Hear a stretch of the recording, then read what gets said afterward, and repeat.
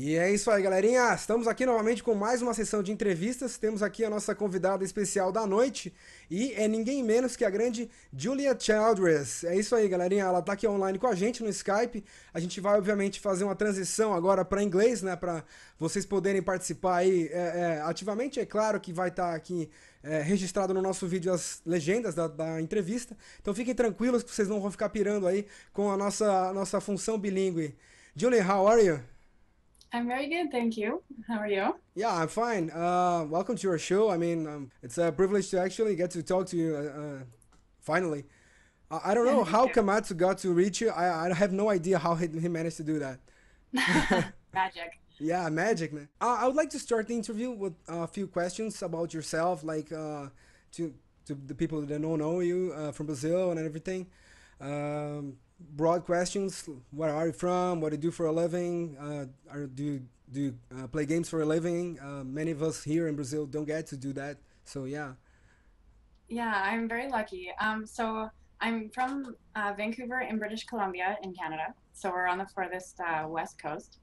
Um, I am 23 years old. Um, I was previously working as a manager at a movie theater, um, one of the big chain in Canada. is Cineplex. Um, and I actually recently quit there um, to pursue uh, esports and my StarCraft career uh, full time. Um, I'm also a student, um, but right now I'm taking the semester off so that I can also really focus on StarCraft and just see where I can go. Um, for now, um, luckily for me, I'm living at home, so I don't have a lot of bills and things, so I can get away with, you know, without a steady income right now. But it's going pretty good so far. Yeah, I've been like uh, following you and noticed you you recently played uh, Losira in the Major League tournament. I mean, how, how was that? I mean, uh, how how cool is that? Oh, it was really cool. Um, it was very scary though. So that MLG was in Providence, and that was uh, the first one I've ever been to. And um, I didn't really know what to expect. I didn't think that I would um, I, I thought everyone there was going to be masters or grandmasters or Korean. they had got a league of their own. Um, and uh, they, my camera's changing, sorry. no, no worry. Um, and when I got there, my first opponent was actually in silver.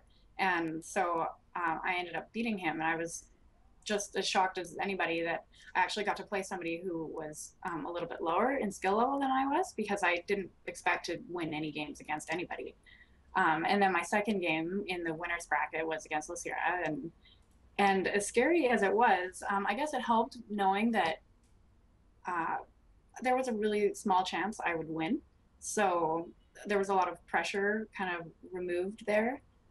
Um, but and and so right away when I found out that I was going to be doing it, I was really nervous. But looking back at it now, it's such a great opportunity, and I'm so happy to have been able to um, to represent not only females but also people who are lower skill level. You know, to like give give hope to people who maybe want to make it um, like get famous or you know become a pro in in esports. You know, like it, it can happen to anybody. Yeah, that, that's what I thought. I mean, uh, before that, I actually I have to confess I didn't have I haven't heard of you before, and I, I was like, whoa, look at that. that there's there's a girl playing Losira. I mean, she she's like uh, facing him and giving me a hard time and everything. I was like, whoa, that that's that's something to to be to my be mindful of. I mean, that's awesome.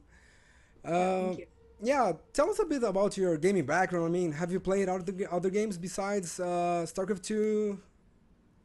Um, I started playing video games when I was really young. Um, my my dad uh, worked with computers at his work, and I guess he always knew what the next big game was. So when I was way younger, we played DOS games like Commander Keen and Whoa. and Jazz Jackrabbit, like really really old games. Um, and then eventually, I started playing Unreal Tournament, and I always loved that. And my brother, who's five five years younger than me, also got into playing that a lot. Um, and then it wasn't until I was, I think, 13 years old, I was in eighth grade, and I met um, a brand new friend in my math class, and he played StarCraft all the time, Brood War. And I, I wanted to, you know, hang out with him more and he just seemed like a really cool guy so i went and got the game too and we stopped talking eventually and i just loved the game. I played it all the time forever like so it was no no uh, big mystery as to why i came into starcraft 2 you know just i think a lot of people who had the background in brood war just couldn't help but move into starcraft 2 as well. It's just such a great community and game. Yeah, I mean, I know exactly what you mean. I, I used to play Brood War when I was, I was a child, and of course, everybody was waiting for StarCraft 2 to come out, and then when it came out, everybody jumped into it, and here we are. Yeah. Basically, here we are. Uh, so, but competitively, uh, only StarCraft 2 so far. Um, well, there locally, I I played Guitar Hero um, for for about a year, um, and there were some local tournaments that I played at, and I came in second at one of them. But uh, it's not like I was never known, you know, as Ailuj in in uh, Guitar Hero or anything like that. Like, really, StarCraft Two is the, my only competitive thing. Okie dokie. Um, well, so so let's just dive in a little bit more in StarCraft Two right now. Uh, are you playing for a team right now? How how is your involvement in the scenario, esports, and everything? Yeah, um, I'm right now. I'm on Check Six Gaming, um, and I was lucky enough to get picked up by them uh, just prior to MLG Providence, which ended up being such a great um, just event and opportunity for me, and and it was really cool to be able to represent a team while I was there. Um, and now I I play under uh, the alias Check Six Ailuj. Um, yeah, they're they're really supportive. It's really fun practicing with the team, and I have a lot of friends on there, so it's nice to kind of have that family environment. Is is everybody from Canada who playing in Six? Um, I think maybe there's three of us from Canada, maybe two. Most of the people on the team are uh, in the United States. Awesome. Uh, yeah. I, I, think HuK is from Canada too, right? Yeah, he is. Yeah. Did, did you meet him uh, prior to the event, or uh, I saw a picture with you, uh, with both of you, so that's why I asked. Uh, the first time I ever met him was um, at MLG. I think he's from Toronto. I could be wrong, but that's on the other side of Canada. So. Mm-hmm. So, uh, well, how was it like when you when you decided to be a pro gamer? I mean, uh, you just said you, you took a semester off school. I mean, uh, it's it's a pretty thrill ride, right? Yeah. Well, I started streaming um, pretty regularly in September 2011, and I was I just started a new semester at college, uh, and I was still working two jobs. I also worked at Sephora, um, and the more often I streamed, the less I wanted to do homework and study and go to work. And I just realized how much I loved it. And I just had such a group of friends on on StarCraft that people that I didn't even necessarily know in real life, just that I had met through StarCraft. And I would always want to play that and hang out with them online. And once I started streaming, I had a big group of people there that we hung out with all the time too. And it was so much fun. Um, so I didn't really plan on becoming, you know, a pro gamer, but um, when I got picked up by Check Six and then went to MLG, um, it kind of happened from there. I mean, I was streaming anyway, and I had a couple thousand followers um, prior to MLG, but definitely after that, I became a little bit better known for sure. Yeah, uh, I noticed you give a lot of interviews. Many people bothering like me and asking a lot of questions, maybe the same questions from time to time.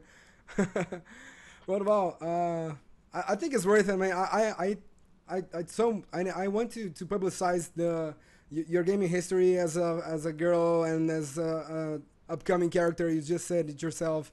I mean, from a person who came from, I think you were in Diamond League. I don't know if you still are. I don't. I don't. I, I am still in Diamond. I haven't been able to ladder quite as often as I would like because uh, I just you know, if it doesn't go well, I get discouraged that day. So I try, I try to practice more custom uh, one versus ones against some of my friends, and a lot of the people I practice with are actually quite a bit better than me. So it can get a little discouraging sometimes, but I know it is good practice, and I just try to do that as often as possible. But I am still diamond, yeah. Yeah, I mean, keep on growing, man, uh, girl, because I keep. Uh, I look up to you because I'm gold so far. So yeah. Thank you. Awesome, awesome. Uh, but at home, uh, when you when you when you decided to do these changes in your life, I mean, with your family, did, did they support you? Uh, was it easy to to? I I think everybody needs to bargain a little when you, when they decide to do this kind of stuff. How was it? Well, I mean, at, at first, like I said, like I hadn't really planned on you know quitting my day job and becoming a pro gamer, but hmm um, so I was just streaming a lot, and my parents knew I was doing that and that I was um, partnered on Twitch, so I was getting some ad revenue from them too.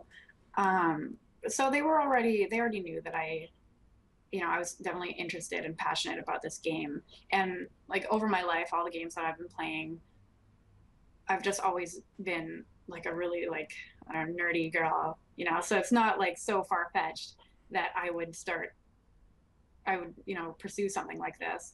Um, and then when I went to MLG, my my dad phoned me one day just to make sure everything was going well. And I think it was right after I found out I was going to be playing on main stage, and I told him how nervous I was. And but they were supportive. Um, it's definitely weird though. I think for their generation to, even for me, like to be able to understand that people can support themselves by playing video games, right? Like especially like the pros and and people who win MLGs and get 50,000 American dollars, you know, like it's amazing that these opportunities exist. hmm Uh, but so it's kind of been a learning curve for everybody. It's it's hard to believe and really get used to, but uh, I'm really lucky. My family has been very supportive. So And did, didn't like the fact that your your girl played a role in this, like a challenge of some sort to to show the people and like, uh, uh, you know, you, you can do it and you're equals. That's of course a fact, but well, there's a lot of stupid people that say stupid stuff. So yeah. yeah, there are lots of opinions out there, but I think if you're passionate about the game, it, regardless of your gender, you know, it, that's all that matters. Yeah, that, that's awesome. That's awesome. Uh, so uh, I'm assuming you have been enjoying a lot the the, the pro gaming gig and everything. Uh, the way you tell the stories with a uh, smile on your face. I mean, uh, do you have any any like special plans, any goals you you want to achieve? I, I definitely want to get promoted into masters soon. Um, that that would just be great. Um, and I, I beat a lot of masters players. It's just for some reason I think the North American BattleNet server just doesn't want to see me get promoted. um, and so if I can start after practicing so much and if I can start laddering more, I think oh I will get promoted. I just need to really, you know, spend a lot of time and be really serious about it. And and it's hard when you lose, which is true for everybody, right? Like it's hard not to get discouraged, but you need to make sure that you don't give up. Um, yeah. yeah, StarCraft is kind of a an unfor- unforgiving game, right? Uh, if you Mhm. do a little mistake, you get so so punished. Yeah. and a lot of frustration coming from it. But it's worth it when you when you get to win. It's pretty awesome. Yeah. Yeah, it's definitely a very yeah, active thinking game. Well, awesome. Um, I don't know. I'm gonna give you a, a blank sheet of paper and just uh, tell your Brazilian fans and everybody uh, listening to this any message, any uh, anything you wish to share with them. Uh, I know you learned some Portuguese recently, uh, but I, I mean, besides that, if you want to say anything else, f- feel free. Uh, well, um, I just, you know, everybody follow your dreams. If you if you want to be a pro gamer, give it a fair shot. And if you're passionate about the game, you know, spend the time that it takes to get good at it. Because whether you're silver or gold or diamond, you know, like there's always room for improvement. And the more that you learn, I think the more you learn what you don't know, right? Like when I was in bronze, I didn't realize how much there was to know. And I just knew that there were some build orders that people followed. I didn't realize that, you know, you had to have so many probes to be able to support yourself on this. And that if you see immortals, you need to have zerglings or, you know, there's so much to learn. So it just, it takes time. It's not easy. And I think everybody has room to grow. So just don't give up. Um, so with that, I'll say, uh, boa sorte, uh, divirsi. Awesome. and, uh, thank you very much, Pedroca, uh, for having me. Um, thank you so much for the support. Um, I always get people from Brazil coming in my channel and saying hi from Brazil, and I love when you guys say that. It's awesome to know that there's people out there who know my name and watch my stream and support me. So thank you so much. Um, also, thank you to my team, Check Six, and all of our sponsors like Pure Track, Pure Voice, uh, TTE Sports. Um, yeah, and please follow me on my Facebook, Twitter, uh, and Twitch, all at Aliege SC. Awesome. Thank you for, for being here. I mean, it's my, my privilege to have you here. Uh, no problem. Thank you. Uh, okay, I'm going to switch back to Portuguese to have the call out everybody to click below in the description to, to, to follow me and everything.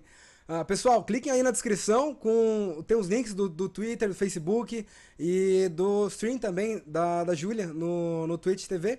Fiquem ligados aí, galerinha. É, com isso aí a gente se despede, se despede. A gente está encerrando então a entrevista agora. Muito obrigado por assistirem. Inscrevam-se no canal aqui também. E com isso aí, eu muito obrigado para a Julia por estar presente. Thank you very much, Julia, for being here again.